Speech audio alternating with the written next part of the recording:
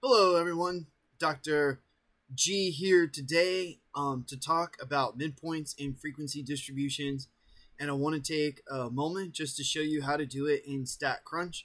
And uh, it feels good to be back after not posting some videos in a while.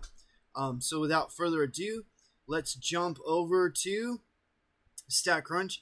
Now there is a superheroes file, um, data file that StatCrunch actually made and what I did was I imported it and I just took out the DC comics because I'm a big DC guy. Uh, not that I don't like um, Marvel movies, but uh, I do prefer DC comics. All right, and so what we have here is the name of a bunch of characters in DC comics and their heights and their heights in centimeters. Okay, so what I want to do is I actually need to make a frequency table first. So I'm, I'm just going to do that really quickly. In stat, summary stat, I'm going to pick the column of height. And I'm just, I want you to know how many objects are in the data file. But really what I need is the min and the range, right? And so I'm going to click on compute.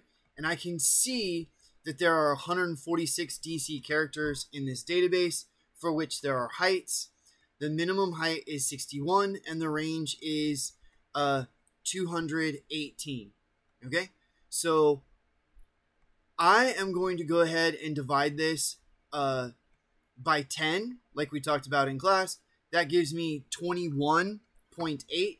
And so I'm just going to use 20 as my bin size. And I'm just going to start at 60. Okay, so when I go to stat and table, I'm going to pick a frequency table. And what I want is the height. And I just want the frequency for right now. Obviously, you can select relative frequency. And then I'm going to go ahead and bin it. And I'm going to start at 60 to make sure that I have that minimum value in there. And then I'm going to go by 20s. Um, let's go by 25. Let's go by 25. Um, maybe that makes more sense. And I'm going to store it in the data table. Okay. So we're going to start at 60 because that's below the minimum and it gives us a nice starting value. And then I'm going to make the width 25 so that I have approximately um, 10 bins or classes. I'm going to store it in the data table and I click on compute. And what you can see is I have 60 at 85, 135 to 160, 160 to 185, and the frequency of each.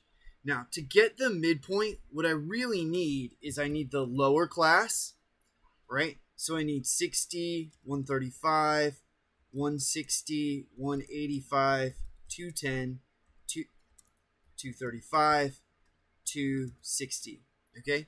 And then I need the upper class, the upper end of the class. So that's going to be 85, 160, 185, 210, 235, 260, and 285. So for the lower, I'm just reading this left number. And for the upper, I'm just reading this right number. Okay? So that's all there is to it. So how do I compute the midpoint? All right. So data, compute, expression. All right. Now I'm going to go ahead and hit the build. What I need is a set of parentheses. So I'm going to use the little parentheses guy. And I need the lower plus the upper. And I need that. Now, notice I bumped out of the parentheses so that I can put the divide by outside of it, 2. All right? So midpoint is lower plus upper divided by 2.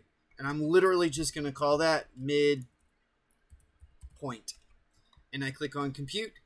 And so here now is the midpoint for each of these, okay? And so what I could do is now I can make a bar plot with summary and the categories are going to be that midpoint and the counts are going to be in frequency. And when I hit compute, you'll see the midpoint in the middle of each of the bars of the frequency distribution. Um, hopefully that was helpful. Uh, it's a short little video, uh, and I hope that you'll watch more.